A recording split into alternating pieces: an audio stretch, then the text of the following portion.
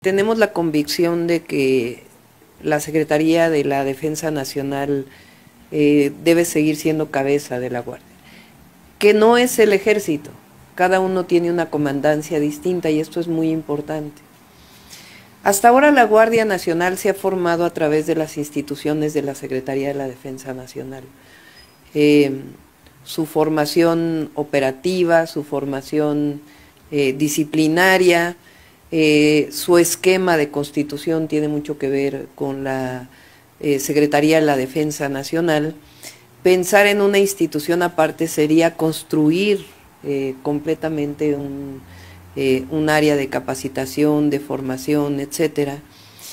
Y además coincido con el presidente López Obrador en que los antecedentes de la Policía Federal, particularmente en lo que fue las manos de García Luna, pues es algo que no queremos que vuelva a repetirse nunca eh, en nuestro país.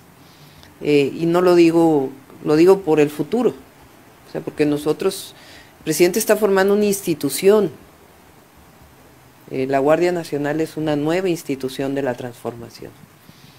Entonces coincido. Ahora, hacia adelante la Guardia Nacional tiene que consolidarse en varias áreas todos aquellos que dicen que esto es militarización, no es militarización. Militarización sería si eh, quien dictara toda la política de seguridad pues fuera una institución solamente del ejército y no es así. La política de seguridad la define el gobierno de la República con la presidenta de la República.